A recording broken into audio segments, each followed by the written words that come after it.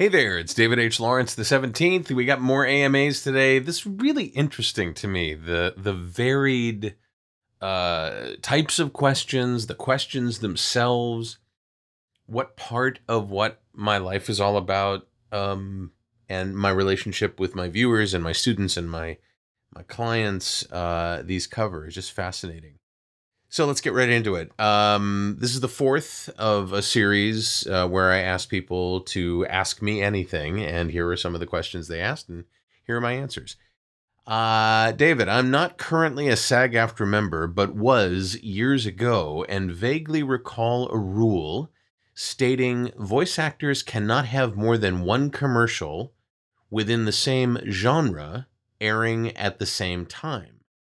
Can you expound on any such or similar rule and explain if it would also apply to non union work as well? So, um, what you're talking about is conflicts, and that's not a union rule. The union, by design, wants you to have as much work as you possibly can have.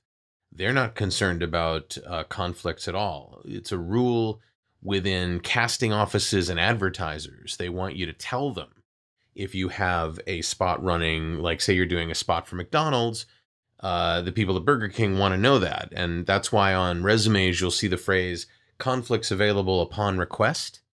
Uh, rather than a list of different uh, different commercials that have been done, um, and it's the same for non-union. It has no different. No different between union and non-union work. It's not a union rule. It's not a non union rule, it's a tradition and something that you need to disclose to advertisers. I, I watched somebody, I was in a series a few years ago that was sponsored solely by Subway. And I watched someone who was in that series, a lead in that series, get written out because he accepted a commercial uh, from McDonald's. Uh, and his agent didn't think that the the web series we were doing was going to have any legs. Turned out it had what four or five seasons. It was great. Um, and the McDonald's spot ran one cycle of 13 weeks. So that's it's called conflicts. There's no union rule on it. So great question. Thanks for asking. Um, how do you, David, direct yourself when doing a voiceover? So that to me is one of the like gold standard things that I teach in VO2GoGo. We have a class on a whole class uh, in the VO to Go curriculum very early on called Mastering the Art of Self Direction. And it's a brilliant question. And it's the same question I asked myself. I'm like, wow. So, more often than not, I'm not going to, and now almost never, go to a studio to do my audition work where I get feedback, maybe from a casting director, maybe from an engineer who is tasked with a casting entity to get a certain type of read. Now I'm just sitting here in, you know, mi casa, uh, and I'm kind of by myself. I'm kind of isolated, and I know that it's the same for you. And so what I did was I took a series of uh, of methods that allow you to analyze what you're doing, where you are in the story, what your role is, what the job is that you're trying to help the listener achieve.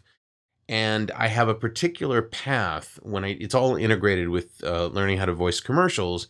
I have a particularly specialized path that deals with finding the secret in a commercial, in, in the copy, revealing that secret so that the listener can get their job done. Because every piece of copy that is written um, has a particular purpose, has a particular function. Uh, either they want to uh, help you understand why using their product or service is better than using their competitors, or using their product or service is better than not doing anything at all, uh, or what could happen if you don't use their product or service. And that's just with commercials. Uh, with other categories, uh, to me, it boils down to storytelling. When I listen back to things, and I rarely do these days, I have faith that I'm able to do uh, what I'm able to do and and do so fairly consistently.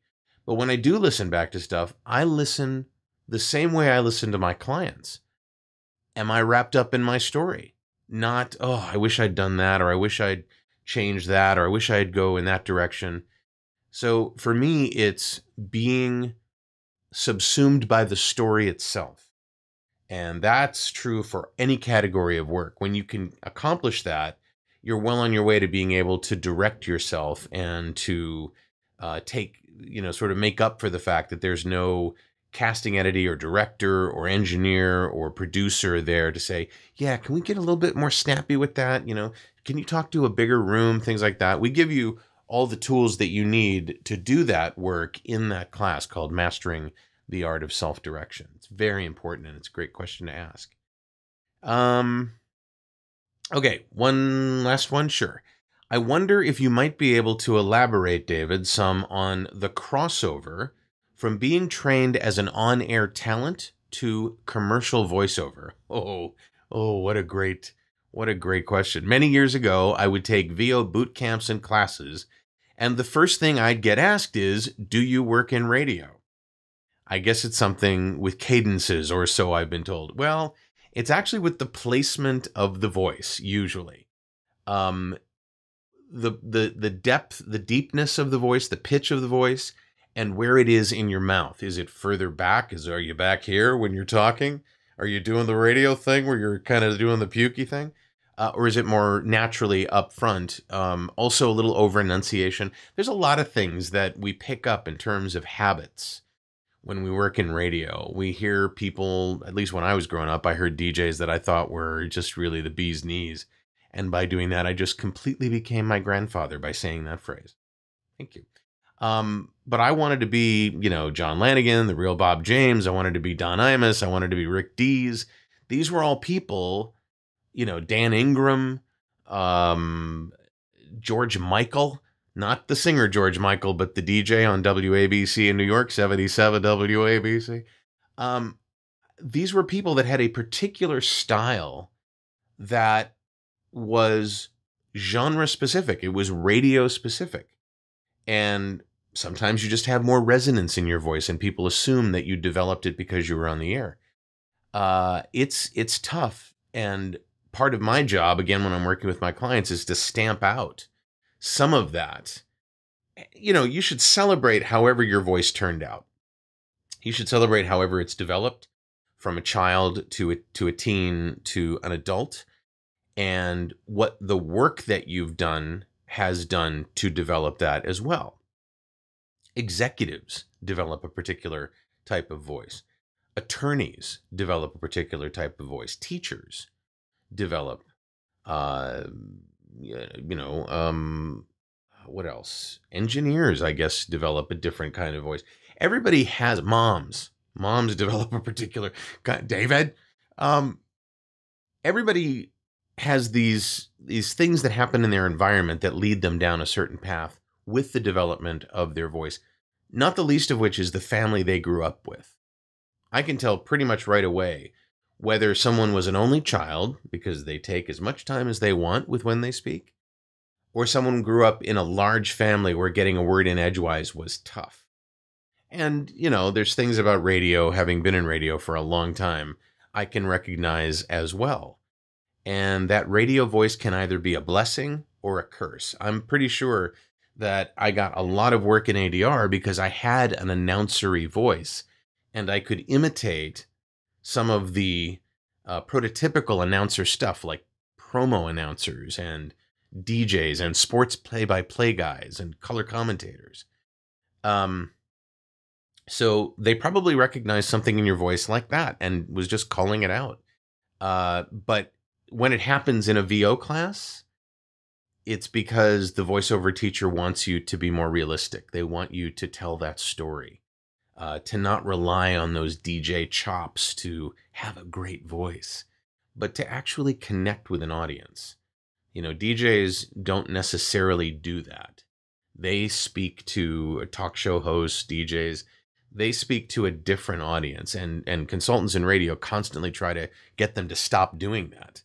Um, but that that false tone is something that is inherent in a lot of former radio personalities, me included, until uh, you learn that just being you makes all the difference in the world.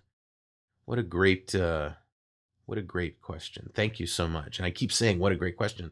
because they almost all were. There were there were there were only one or two questions that I thought, is this a joke? And I'm still considering whether to answer them. So we'll let you know. I got more. I got more. I got more.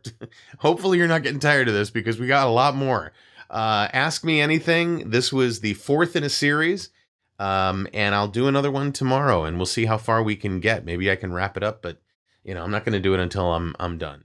Uh, if you'd like to subscribe to my YouTube channel, well, go ahead and click on my head there. If there's no head, there's a subscribe button somewhere below this video. If you want to see the latest episode that I've done, go ahead and click on that frame there and YouTube will play it for you.